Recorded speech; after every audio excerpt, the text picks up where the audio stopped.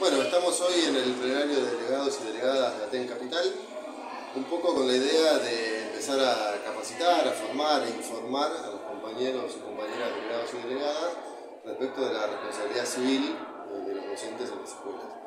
Un tema que es recontractual porque en el marco de la crisis que hay en el país, eh, la respuesta seguramente de parte del gobierno va a ser más, más ajustes, lo que explica el pasamiento de la educación pública, poner en debate ¿Qué pasa con las condiciones edilicias? ¿Qué pasa con la situación en la que están viviendo los niños y adolescentes en las escuelas? Es más que importante, sobre todo para ver qué hacer como docentes, cómo resguardarse por un lado y cómo pelear por mejores condiciones de trabajo para ellos.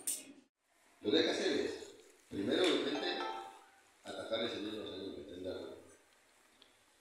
Lo segundo que hay que hacer es llamar al servicio de emergencia.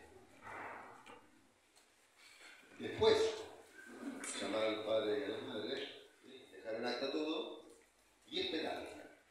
Nunca hay que salir corriendo con un chico. Nunca hay que salir corriendo porque eh, podés acabar el daño. Nunca hay ni que minimizar, porque así como no somos legasistas, ni plomeros, ni electricistas, ni ingenieros civiles,